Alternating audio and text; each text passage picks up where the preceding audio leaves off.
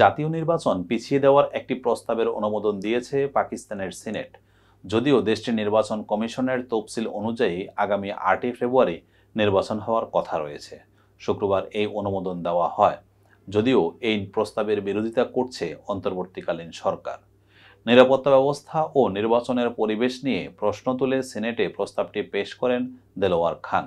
তবে নির্বাচন পিছিয়ে দেওয়া হবে কিনা তা এখনও স্পষ্ট নয়, কারণ সিনেটের এই পদক্ষেপ মানার ক্ষেত্রে কোনো বাধ্যবাধকতা নেই। এদিকে পাকিস্তান পিপলস পার্টির পিপিপি চেয়ারম্যান বেলোয়াল ভুট্টো জারদারি আগামী আটই ফেব্রুয়ারি অনুষ্ঠিত সাধারণ নির্বাচনের প্রধানমন্ত্রী পদে দলের প্রার্থী হিসাবে মনোনীত হয়েছেন।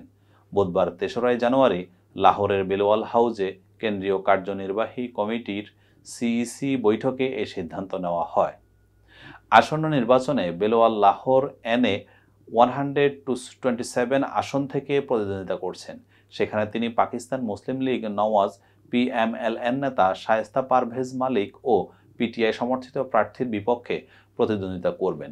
চৌত্রিশ বছর বয়সী বেলোয়াল ভুট্টো জারদারি পাকিস্তানের সাবেক প্রধানমন্ত্রী বেনজির ভুট্টোর ছেলে ও জুলফিকার আলী ভুট্টোর নাতি।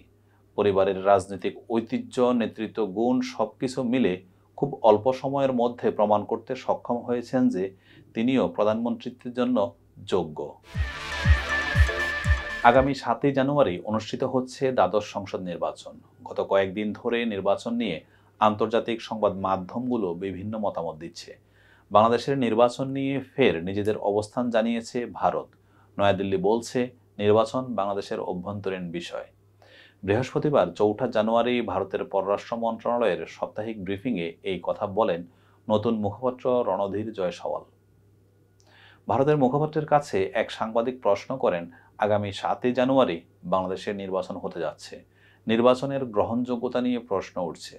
কেননা, প্রধান বিরোধী দল নির্বাচনে অংশগ্রহণ করছে না। এ বিষয়ে ভারতের অবস্থান কি? জবাবে জয়সওয়াল বলেন, বাংলাদেশের নির্বাচন নিয়ে আমরা প্রতিনিয়ত বলে আসছি। বাংলাদেশের নির্বাচন তাদের অভ্যন্তরীণ বিষয়। বাংলাদেশের জনগণ তাদের ভাগ্য নির্ধারণ করবে। ভারত নির্বাচনে পর্যবেক্ষণ পাঠাবে কি না এমন প্রশ্নের জবাবে কোনো মন্তব্য করেননি জয়সওয়াল। তবে কূটনৈতিক সূত্র থেকে জানা গেছে, বাংলাদেশের নির্বাচন কমিশনের আমন্ত্রণে ভারতের সিনিয়র ডিপুটি নির্বাচন কমিশনার ধর্মেন্দ্র শর্মার নেতৃত্বে একটি দল বৃহস্পতিবার ঢাকায় এসেছে। প্রতিনিধি দলটি আগামী নয় জানুয়ারি, অর্থাৎ নির্বাচনের ফল প্রকাশিত হওয়া পর্যন্ত বাংলাদেশে অবস্থান করবে।